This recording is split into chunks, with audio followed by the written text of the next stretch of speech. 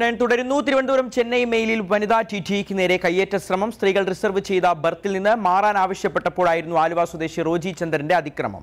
Railway സംരക്ഷണ സേനയും rail പോലീസും പ്രശ്നത്തിൽ വളരെ ലാഘവത്തോടെയാണ് ഇടപെട്ടത് എന്ന് രജനി ഇന്ദിര ഏഷ്യാനെറ്റ് ന്യൂസിനോട് പറഞ്ഞു.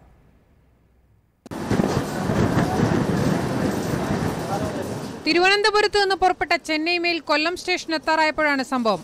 ഡി ഫോർ കമ്പാർട്ട്മെന്റിലെ തങ്ങളുടെ ബർത്തിൽ ഒരാൾ ഇരിക്കുന്നുവെന്നും ഇയാളെ മാറ്റണമെന്നും രണ്ട് സ്ത്രീകൾ ടി ടി രജനി എന്നിവയോട് പരാതിപ്പെട്ടു. ടി ടി മാറാനാവശ്യപ്പെട്ടെങ്കിലും ഇയാൾ തയ്യാറായില്ല.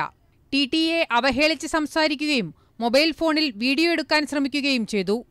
തല്ലാൻ ശ്രമിച്ചപ്പോൾ മറ്റ് യാത്രക്കാർ പിടിച്ചുമാറ്റുകയായിരുന്നുവെന്നും രജനി ഇന്ദിര ഏഷ്യനെറ്റ് ന്യൂസിനോട് പറഞ്ഞു.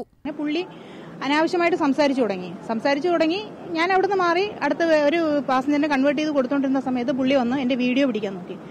വീഡിയോ പിടിക്കാൻ നോക്കി. ഞാൻ പറഞ്ഞു പറ്റില്ല. എന്റെ പെർമിഷൻ ഇല്ലാതെ വീഡിയോ പുള്ളി ചാടി വന്ന് കൈവക്കി എന്റെ ദേഹത്ത് തട്ടി. അപ്പം അടുത്തിരുന്ന പാസഞ്ചേഴ്സ് വന്ന് തള്ളി മാറ്റി. ഇല്ല അങ്ങനെ എല്ലാവരും കൂടെ കൂടി അവിടുന്ന് എന്നെ രക്ഷിച്ചെടുക്കുകയാണ് ചെയ്തത്. കൊല്ലത്ത് ട്രെയിൻ എത്തിയപ്പോൾ റെയിൽവേ സംരക്ഷണ സേനയും റെയിൽവേ പോലീസും പ്രശ്നത്തെ ലാഘവത്തോടെയാണ് കണ്ടതെന്ന് രജനി പറഞ്ഞു. പ്രതിയോട് കാര്യങ്ങൾ ചോദിച്ച ശേഷം ഇവരിറങ്ങിപ്പോയി ഞാൻ പോലീസിനെ വിളിച്ചു. കൊല്ലത്ത് ഒരു വന്നു. വന്നിട്ട് പ്രത്യേകിച്ചൊന്നും ചെയ്യാൻ പറ്റിയില്ല. അപ്പോഴത്തേക്ക് വണ്ടി മൂവായി വീണ്ടും കായംകുളത്ത് വന്ന് പുള്ളി ഇറക്കി. കായംകുളം എത്തുമ്പോഴേക്കും നടപടിയെടുത്തില്ലെങ്കിൽ ട്രെയിൻ പിടിച്ചു നിർത്തുമെന്ന് രജനി കൊമേഴ്ഷ്യൽ വിഭാഗത്തിൽ വിളിച്ചു മുന്നറിയിപ്പ് നൽകി.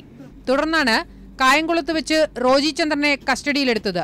എന്നാൽ ഇയാൾക്കെതിരെ ജോലി തടസ്സപ്പെടുത്തിയെന്ന കുറ്റം മാത്രമേ ചുമത്തിയിട്ടുള്ളൂ. ഏഷ്യനെറ്റ് ന്യൂസ് ആലപ്പുഴ.